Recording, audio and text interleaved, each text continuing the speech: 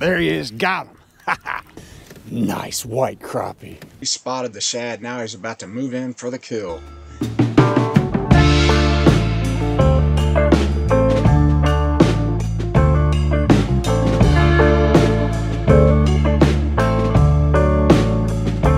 All right, let's catch some fish. It's on. Wind is gusting to about 22 or 23. So we're gonna drift with these dudes, see what we can get. Here's something about 30 feet out.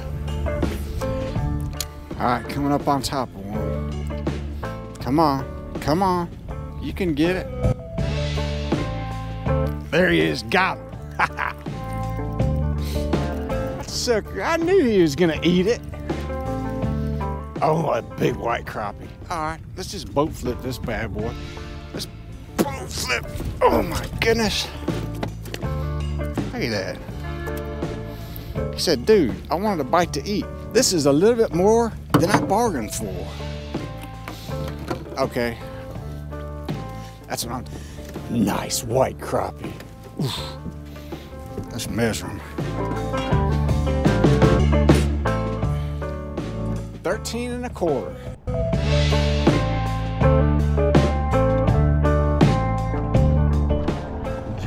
Down to right there.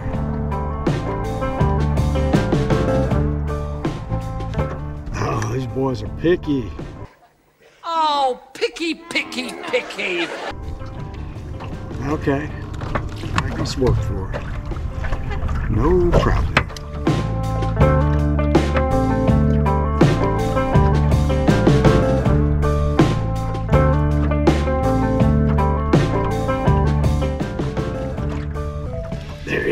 Right there. Just like that.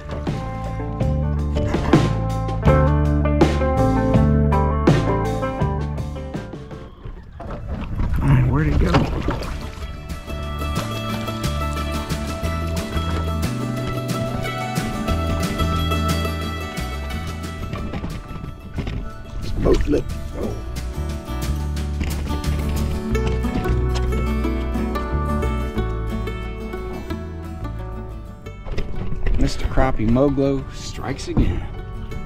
I think they like it because they can see it better. This sucker here is nice black. Just over 13 inches. Typical size for Lake Carolina. Look at that right there. It's over 13 inches.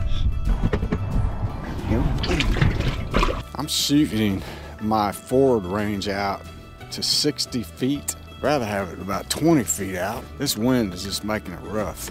All right, here's my setup. Got my uh, Daiwa Fuego. It's a 2500 series.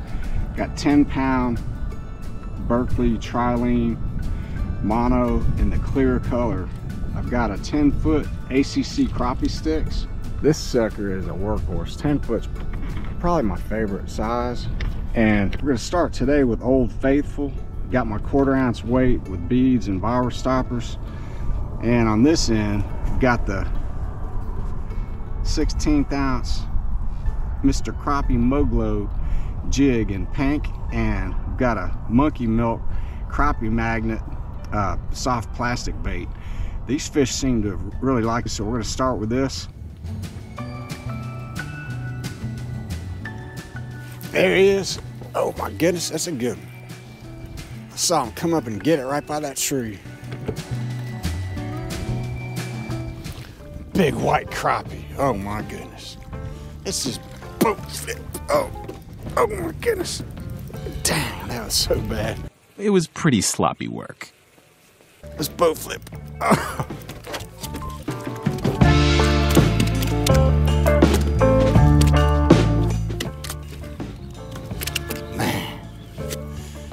Look at the size of that slab. Oh my goodness.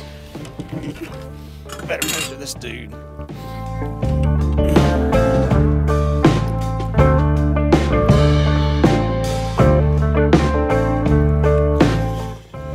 It's 14 and three quarters.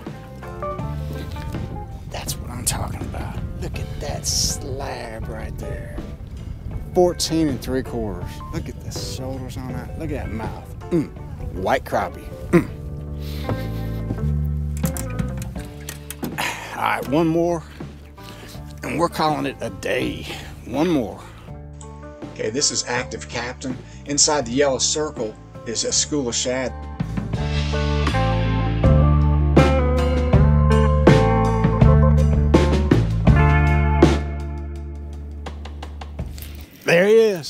Yes. Big black crappie. Last fish of the day. We're gonna call it a day. Get in here, dude. Ah, come on. Boom, flip. Oh.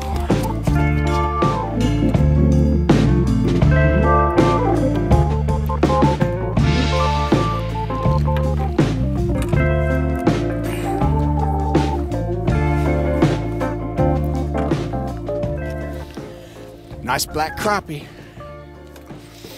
13 and a quarter. Look at that stud. How thick the shoulders are. He said, Give me that jig. I need something to eat. Yes. You proud of yourself? All right, I'm calling it a day.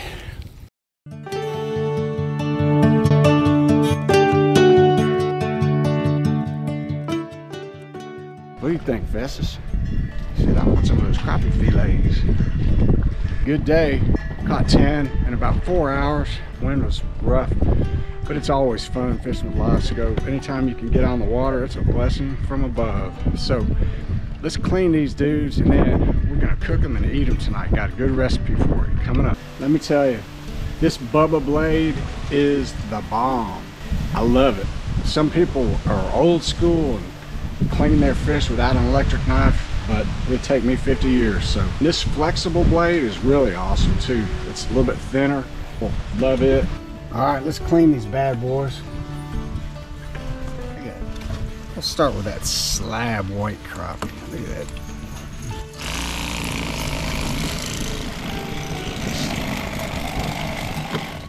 Still along the backbone.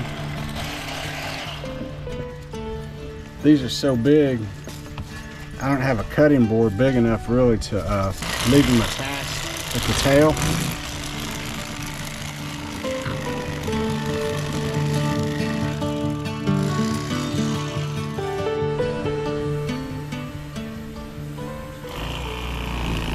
Make a vertical cut.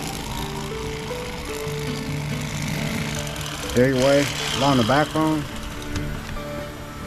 Easy as that.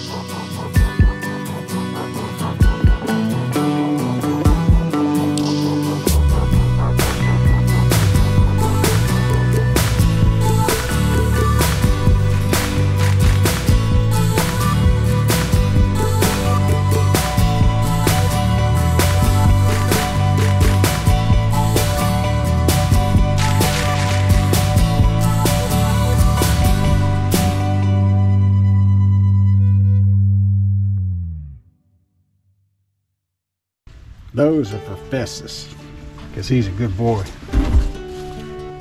He has been patiently waiting here. Would you like some crappie? It's about time. There you go, good boy. One more, another piece? One more? There you go. Good boy. So what we're gonna do with the fish, there's Edie again, hello, is we're gonna bake it at 350 for about 20 minutes. First thing I'm gonna do is put a little lemon on it, followed by some Paul Prudhomme's Seafood Magic. And then we're gonna bake it for a total of 15 or 20 minutes. But after about 10 minutes, I'm gonna melt some of this Kerrygold butter and spread it on the fish and then finish baking it. The sauce that we're gonna use is really very simple. And it consists of this chicken broth. We're gonna boil about a cup or so of that. Then we're gonna mix in mayonnaise and Dijon mustard at a ratio of about one to four. One part mustard, four parts mayonnaise. We'll use that for the sauce. It is simple and it is delicious. Let's get started. First thing, a little bit of lemon. Actually, a lot of lemon.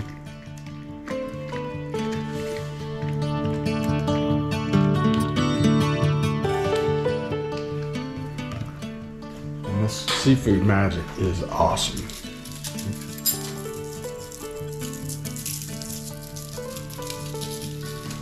Got a little bit thick, but it's okay. Now we're ready to start baking it. Okay, we got Festus helping us also. Say hello, Festus. And now we're gonna put the fish in.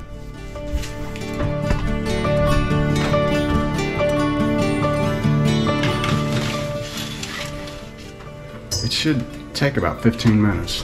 Boy, that looks good. Edie's doing a fabulous job chopping up the Brussels sprouts. This is definitely a keto-friendly meal. We are having fish and Brussels sprouts. Once the Brussels sprouts are chopped up, we'll put those on the flat top grill outside and cook those while the fish are baking and we'll be that much closer to the feast.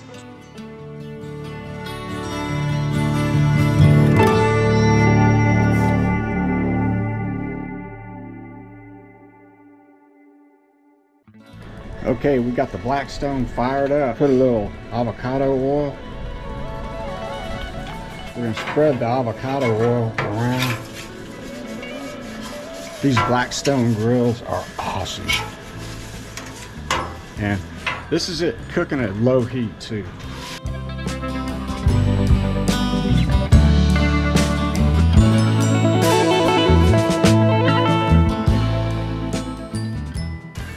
This pit boss right here that we'll put down to cover it.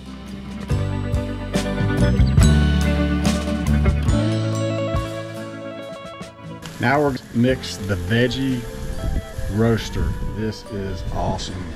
Then I'm gonna put about half of this on now.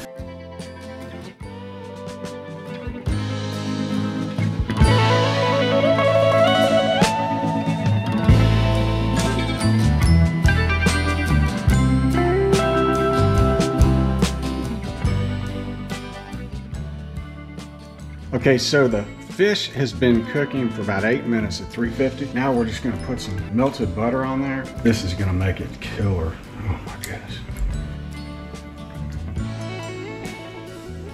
Definitely keto friendly.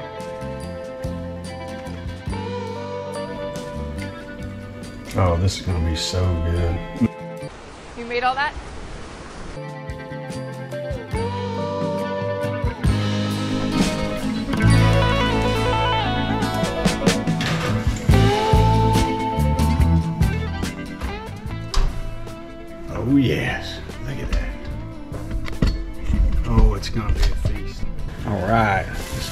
Let's check on these.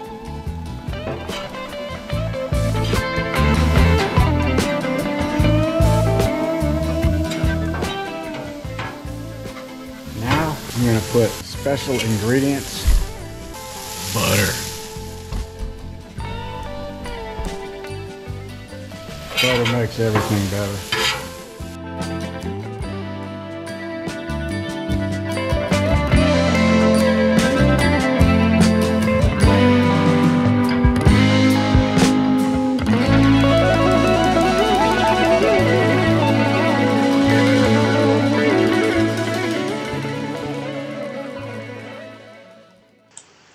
Okay, now the chicken broth is boiling. We measured one third cup, and now we're going to add the mayonnaise. a Couple large dollops. Now add your Dijon mustard, about one fourth of the amount of the mayonnaise. Whisk it together, and your sauce will be ready.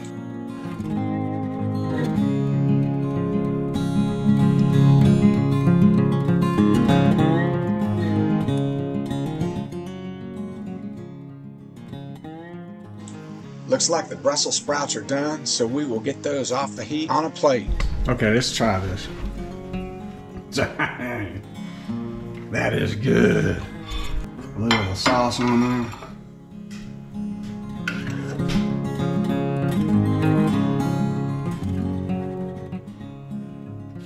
And my plate's gonna be a little bit heftier.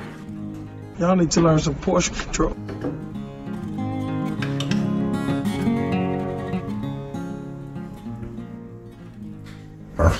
Dear Lord, thank you for this good food, for blessing us so much, and for being able to fish and catch these fish and now eat them. In Jesus' name, amen. It goes. Got yourself like. Mmm. really good. Mm, mm, mm. Well, that's all we've got for tonight. Hope you enjoyed it. Try this recipe, it's delicious and easy. We'll see you next time. Remember, get out there and go fishing.